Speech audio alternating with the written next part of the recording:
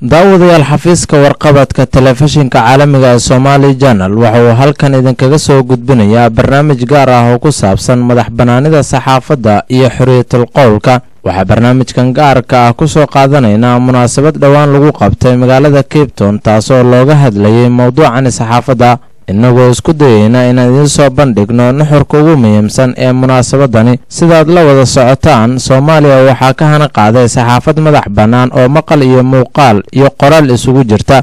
Iyadoo wararkani ay noqdeen badeecadda loogu dalabka badan yahay soomaalida dhexdeeda marka laga yimaado qutul duruuriga magaalada caasimadda ee muqdisho waxaa ka howlgala in ka badan shan iyo toban idaacadood iyadoo ay dayax gacmeedyada galeen in ka badan shan telefishin oo ah idaacadaha la iska arko. Uu ka mid yahay telefishinka somaali janal waxaa kale oo jira wargeysyo iyo kumanaan websayt oo xagga internetka ah oo wararka lagu faafiyo.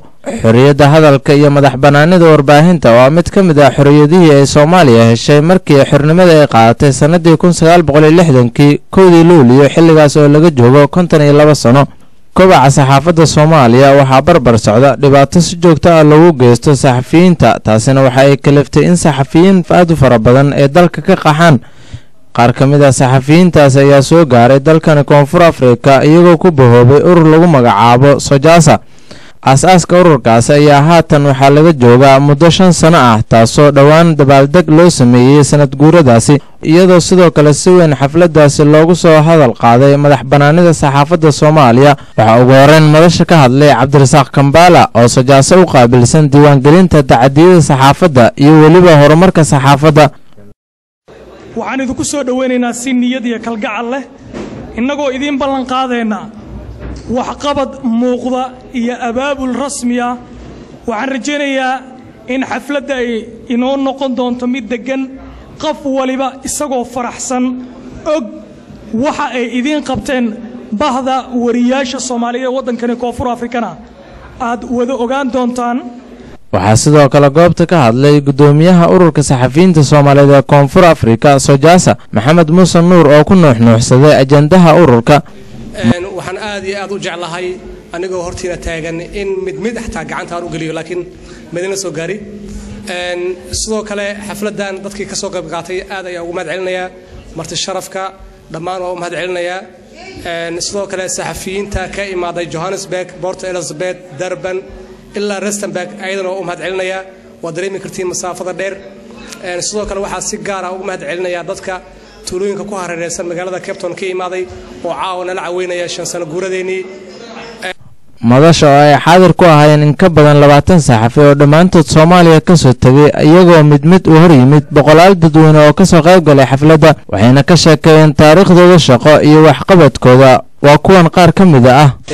Marka hore aan iskiin baro waa cabdiqaadir axad.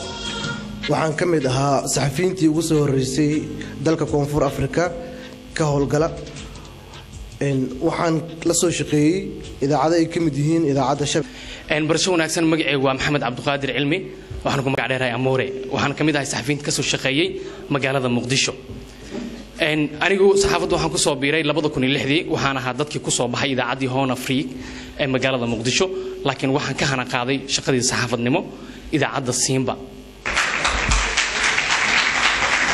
asalaamu calaykum waraxmat ullaahi wabarakaatu magacayga waa caydiruus cabdi xasan saxaafadda waxaan ku soo biiray labada kun xilligaas oo aan ka mid ahaa ardaydii iskoolka maxamuud xarbi ee magaalada muqdisho waxaan wax ku qori jiray jaraa'id la dhihi jiray aayaha nolosha.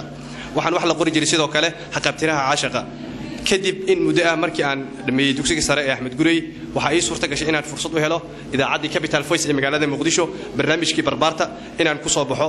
Barnaamijkaas oo aan ahaa soo saare xubin ka mida barnaamijyadii idaacadda ka bixi jiray oo la dhihi jiray xubinta shakhsiga. Markii ugu horraysay aan saxaafad aan bilaabo waxay ahayd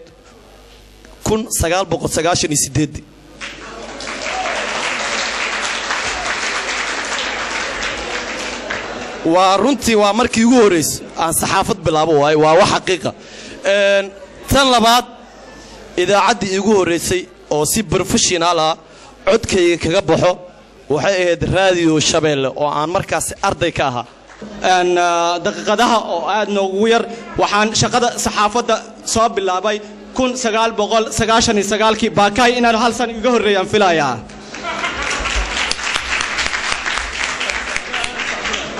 dabcan waxaanan ka bilaabay wargeys ka faallooda arrimaha qoyska oo la yidhaahdo aayaha nolosha. Marka xigta magacaygu waa xasan yuusuf maxamed. Waxaan ku naanaseerahay shafadyare waxaan ahay wakiil raadiyo daljir koonfur afrika u jooga bismillaahi raxmaan raxiim marka hore waxaan aad u salaamayaa ka soo qaybgalayaasha iyo mas'uuliyiinta kala duwan ee martida ku ah xafladda iyo bahda sojaasa oo aan xubin ka ahay. Marka xigta magac waa famos. Tilmaam uma baahna. Intii garanaysa intaan garanaynba waa cabdilaahi balwaan nabadi. Jecel baa ku magac dheerahay soomaali weyn iyo honafrig baa u soo shaqayn jiray. Iminka daljir radio iyo royal t v baan ka howlgalaa mahadsanidin qodob muhiim oo isoo xasuusiyey. Anigu waxaa la yidhaahdaa cabdinaasir axmed sheekh bashiir saxansaxo ayaan ku magac dheerahay.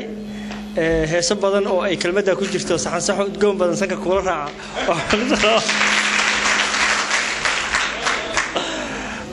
Waxaan ku dhashay magaalada kismaayo ee gobolka jubbada hoose.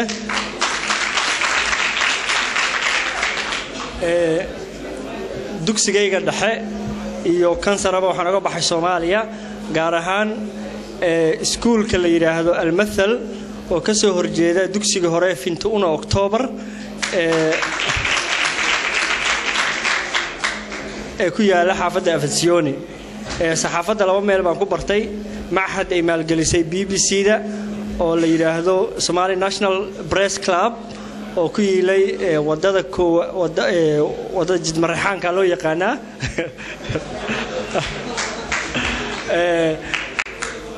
Kadibna alcimraan ku bartay koonfur africa markaan imidna college baan laba sano saxaafadda oga baxay. Haddana waxaan ahay jaamici saxaafadda jaamacad ka dhigtay. Walow aanan dhammaynin oon shahaadadayda ugu dambays qaadanin filim ka hadlaya doorka saxaafadda ayaa sidoo kale goobta lagu soo bandhigay waxaanan idinka tusaynaa qayb yar oo ka mid ah.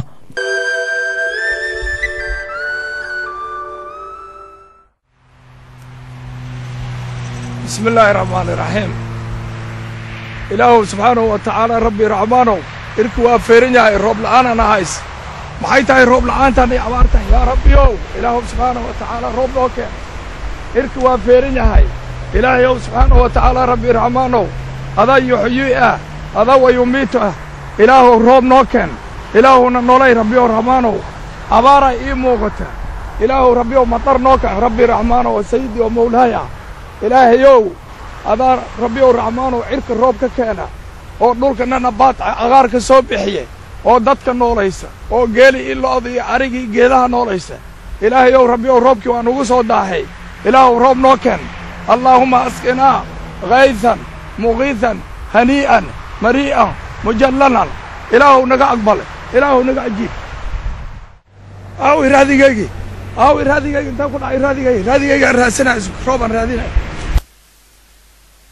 raadiga waa kan maasha allah roobaan dhegaysanaya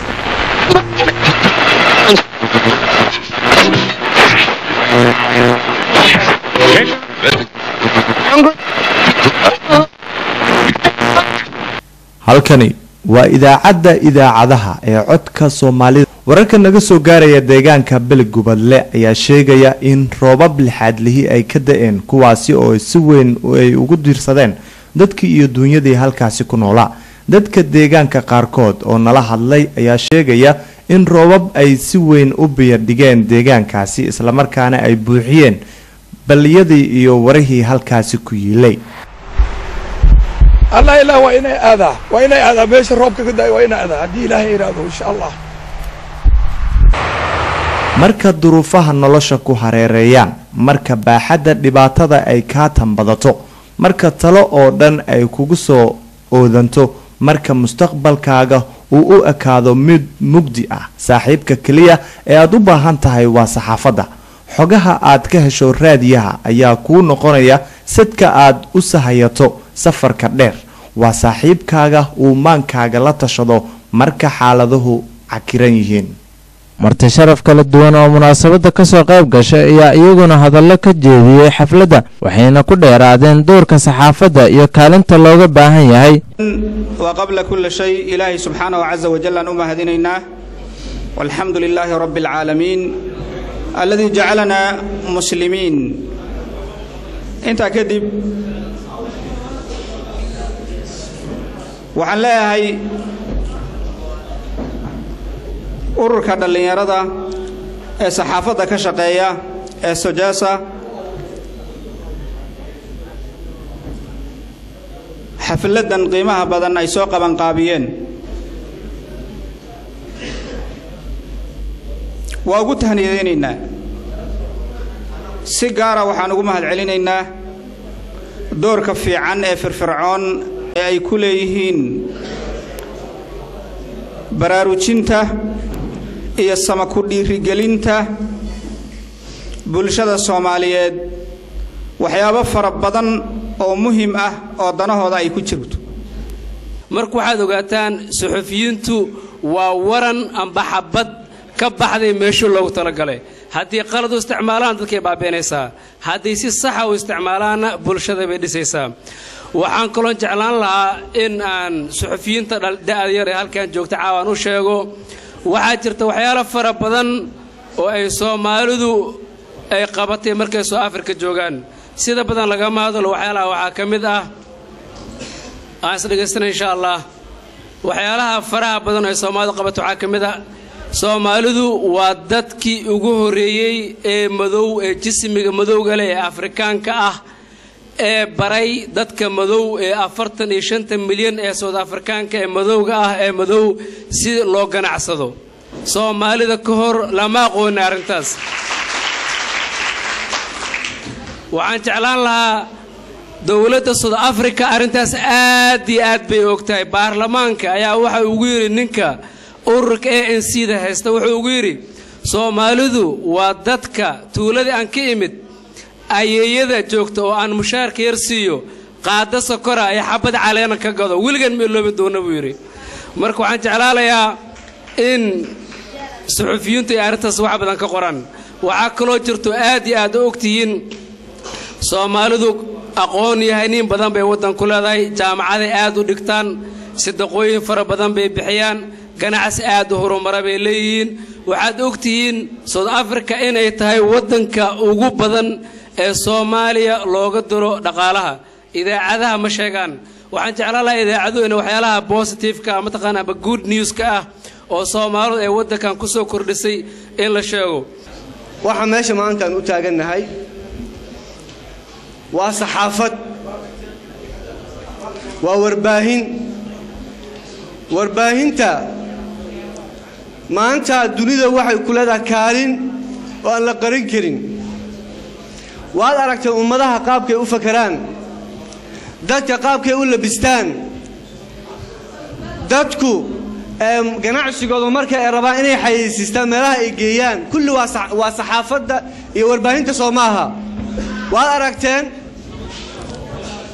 dadku waxay u labistaan qaabka ay tv ka arkaan.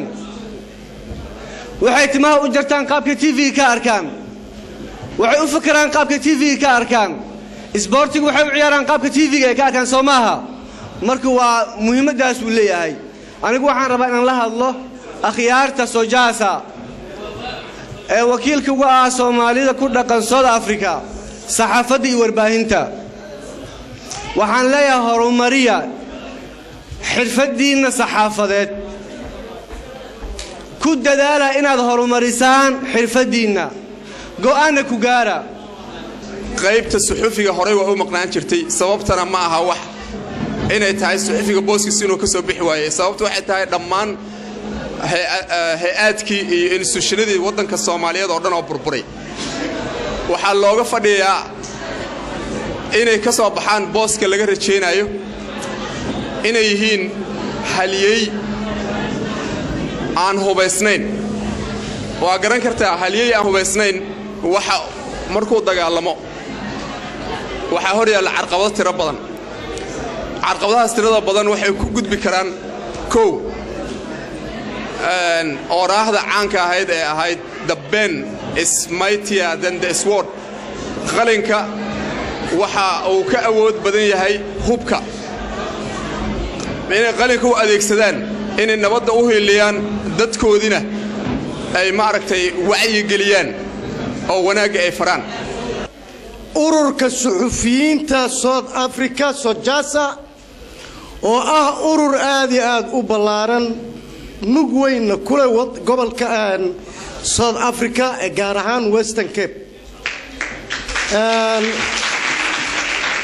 Waxaan idinku salaamay assalaamu calaykum waraxmatullaahi wabarakaatu salaan kadib waxaan halkan uga hambalyaynayaa sanad guuradii shanaad ee ka soo wareegtay ururka suxufiyiinta sojaasa ayaan mahad ballaaran u soo gudbinayaa waxaana rabbi ka rajaynayaa inay ballaarato aqoontooda iyo isjacaylkooda iyo midnimadooda iyo cirdigoodaba inay ballaarataan. Ilaahay ka rajaynayna insha allah. Waxaan halkan aan doonayaa caawa inaan guddoonsiiyo guddoomiyaha meediyaha sojaasa maxamed nuur maxamed muuse nuur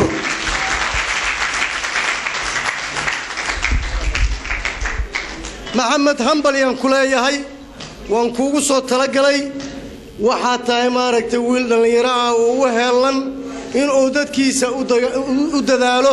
Waxaan kaa rajaynayaa oo sojaasa aan ka rajaynayaa ururada halkan jooga. Waa loo baahan yahay ururka inuu noo bato kuwa indhaha daaweeya kuwa maaragtay dhimarka daaweeya dumarka inay yeeshaan maaragtay ay urur samaystaan waa wax loo baahan yahay. Waxaa loo baahan yahay marka ururadu inay midoobaan oo muxuu ahaa meediyaha dalladdu inay mid noo noqotaa fiican. Cabdikariin arizona waa bare saxaafadeed oo jaamici ah. Waxa uu ka tirsan yahay sojaasa waxa uu qabaa in xafladaha caynkan oo kale ah oo la isku barayo shacabka iyo wariyaasha lagu qabto gudaha soomaaliya si taasi ay u keento in shacabka ay xushmeeyaan saxaafadda islamarkaasina dhibaatada saxaafadda loo geysanayo ay yaraato. Suxufiyiinta hadda joogta ee shaqaynaysa ama inta dambe ee ku soo biiri doonta waxaan leeyahay noqda kuwa qora warka runta ah. Waxaa jira suxufiyaan qolka isku xira ee qalin warqad qaata ee ra'yigooda kaliya qora kadibna dadka u soo gudbiyaan. Halkudhiga saxaafadda waxaa ka mid ah saxaafaddu waa laba seefle. Seefna waxbay goydaa seefna waxbay badbaadisaa. Hal eray oo aad si qalada u sheegto waxa ay keeni kartaa dhibaato ama caqabad weyn. Tusaale ahaan waddankeenna dagaalada sokeeyo marna waxaa la dhihi karaa saxaafadda qaybay ka ahayd burburka waddanka waayo war aan la baarin oo aan la xaqiijin ayaa la soo gudbinaya. Warkaasi wuxuu saamayn ku yeeshtay in dagaaladii ay sii laba jibaarmaan. Marka warka la sheegayo ama warka la qorayo ha ahaado mid tayaysan oo la tifitiray oo aad la kaashatay dad qabiir u leh. Haddii aad warkaas ka gudbiso isla markiiba dhib kalea ka imaanaya. Suxufiyiinta marka waxaan leeyahay ma ahan suxufigu qof fudud suxufiyiinta intooda badan ma taqaaneen laakiin galabtoo kale waxaad ku barateen xafladda. Bulshada ayay ka mid yihiin. Bulshaday ka soo dhexbaceen bulshadayna u adeegaan. Marka qofka markuu bulshada u adeegayo waa in wax tayala uu soo gudbiyaa. Guud ahaan barnaamijka gaarka ah aan uga hadlaynay madax banaanida saxaafadda oo idinkaga imaanaya stuudiyaha magaalada cape town ee dalka koonfur africa halkaas ayaanu ku soo afmeerayaa. Barnaamijka waxaa idin soo gudbinaya anigoo ah cabdifataax cali samatar sablaale dhanka farsamadii kaamirada waa saaxiibkayga cabdiraxmaan codey tan iyo kulanto dambo xiise leh waxaan idinkaga tegaynaa sidaas iyo ammaan allah